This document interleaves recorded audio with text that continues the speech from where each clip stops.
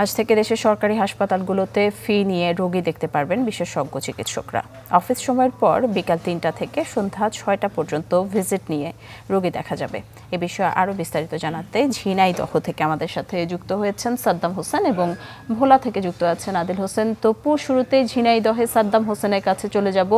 সাদ্দাম সরকারি হাসপাতালগুলোতে প্রস্তুতি কেমন দেখছেন? আর রোগীরা এই উদ্যোগের ব্যাপারে কি বলছেন? নিশ্চয়ই আপনি জানেন যে সারা বাংলাদেশে কিন্তু স্বাস্থ্য বিভাগের যে হাসপাতালগুলো রয়েছে, সেখানে বৈকালিক যে প্রাতিষ্ঠানিক স্বাস্থ্যসেবা কার্যক্রম, সেটি কিন্তু আজ থেকে উদ্বোধন হবে এবং এর কার্যক্রম আজ থেকে শুরু হতে যাচ্ছে। তো আমরা এখানকার যারা চিকিৎসক রয়েছেন, তাদের সাথে কথা বলেছি। তারা বলছেন যে বিকাল দুইটার সময় কিন্তু এই বৈকালিক প্রাতিষ্ঠানিক যে স্বাস্থ্যসেবা কার্যক্রমের উদ্বোধন হওয়ার কথা রয়েছে। তারই সেই উদ্বোধন উপলক্ষে কিন্তু এখানে সেই কার্যক্রম তারা সেই প্রস্তুতি গ্রহণ করছেন।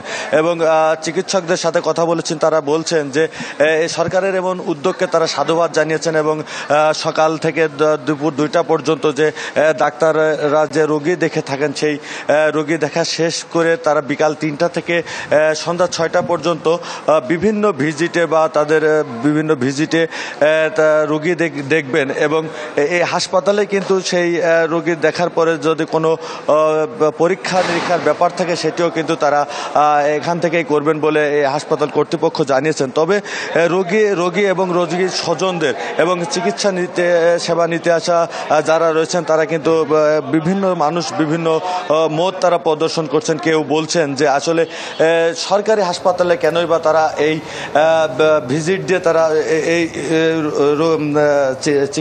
চিকিৎসা সেবা নেবেন। এবং আবার অনেকেই বলছেন যে বাইরে অতিরিক্ত টাকায় চিকিৎসা সেবা নিতে হচ্ছিল, সেখান থেকে কিন্তু তারা সুবিধা পাচ্ছে।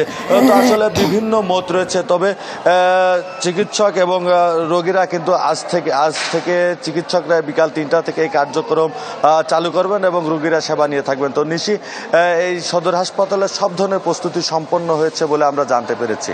এই ছিল ঝিনাইদের আড়াইশো শয্যা বিশিষ্ট হাসপাতালের সর্বশেষ পরিস্থিতি। অনেক ধন্যবাদ সাদ্দাম হোসেন আপনাকে। আমরা আদিল হোসেন তপুর কাছে চলে যাব, তার ভিডিওটি হয়তো দেখতে পাচ্ছি না আমরা। তপু আপনি নিশ্চয়ই আমাদেরকে শুনতে পাচ্ছেন। সাদ্দাম যেমনটি জানাচ্ছিলেন যে ঝিনাইদহে সাধারণ রোগীরা সরকারের এই উদ্যোগকে সাধুবাদ জানিয়েছে। আপনার সেখানে কি অবস্থা? হাসপাতালে প্রস্তুতি কেমন দেখছেন? আর সাধারণ রোগীরা কি বলছেন? নিশি, আসলে দেশের প্রত্যন্ত অঞ্চলগুলোতে কিন্তু চিকিৎসা সেবা একদম দুঃসহ হয়ে পড়ে। তো সেই ক্ষেত্রে বলা যায় যে, সরকারের যে উদ্যোগটি যে হাসপাতালগুলোতে, জেলা হাসপাতালগুলোতে যেই বিকালবেলা যে চেম্বার করা, সেটি একটি আশীর্বাদ শুরু হয়ে আসবে দ্বীপ জেলা ভোলার জন্য। বরিশাল বিভাগে মূলত চারটি জেলায় চারটি মূলত চারটি দুইটি জেলায় এবং তিনটি জেলা এবং চারটি উপজেলায় মূলত এই স্বাস্থ্যসেবাটি চালু হয়েছে। এর মধ্যে ভোলা জেলায় ভোলা সদর এবং চরপাশন উপজেলা মোট এই দুটি হাসপাতালে এবং উপজেলা স্বাস্থ্য কমপ্লেক্সে এই সেবাটি চালু হবে এবং বিকাল তিনটা থেকে এই কার্যক্রমটি শুরু হবে। এই এইটি কার্যক্রমটি শুরু হলে এই দ্বীপ জেলা ভোলার মানুষের জন্য অনেকটা সুখবর হয়ে আসবে। কেন নয় এখানে একদিকে যেমন ডাক্তার সংকট রয়েছে হাসপাতালগুলোতে, সেই ডাক্তার সংকটে যেসব ডাক্তাররা রয়েছেন, তারাও কিন্তু বিকালে পর অনেক সময় চেম্বার করে থাকেন বাহিরে তো সেই ক্ষেত্রে যখন হাসপাতালে চেম্বারটি তাদের শুরু করা হবে, তখন যারা হাসপাতালে ভর্তি থাকবেন, তারা কিন্তু এখানে টিকিট কেটে তারা এই চিকিৎসকের সেবা নিতে পারবেন। অন্যদিকে বিভিন্ন ধরনের পরীক্ষা নিরীক্ষা করাতে পারবেন। এটি এই দ্বীপ জেলা মানুষের জন্য আশীর্বাদ হচ্ছে এবং এইখানে ডাক্তারদের জন্য জুনিয়র থেকে সিনিয়র ডাক্তারদের জন্য দুশো থেকে পাঁচশো টাকা যে ফি নির্ধারণ করা হয়েছে এবং সেটিও মানুষ এই কম মূল্যে এটি সেবাটি পেয়ে থাকবেন। তো ভোলার সাধারণ যারা রুগী আছেন, যারা তারা বলছেন এটি হাসপাতালে যে চিকিৎসক সংকট, এটি কিছুটা হলো এই নিরসন করা সম্ভব হবে এবং মানুষজন সেবা পাবেন। তো সব মিলিয়ে ভোলার, এই সেবাটি যদি সঠিকভাবে চালু করা যায়, তাহলে ভোলার মানুষের কিন্তু বিশেষ করে বিকালের পরে কিন্তু ভোলার বাইরে যেতে অনেকটা দুঃসহ হয়ে পড়ে, তখন তাদের আর বাইরে যাওয়া লাগবে না। জেলা শহরে তারা হাসপাতালে চিকিৎসা নিতে পারবেন এবং পরীক্ষা নিরীক্ষা করাতে পারবেন। তখন হয়তোবা এই ধরনের সমস্যাটি আর হবে না।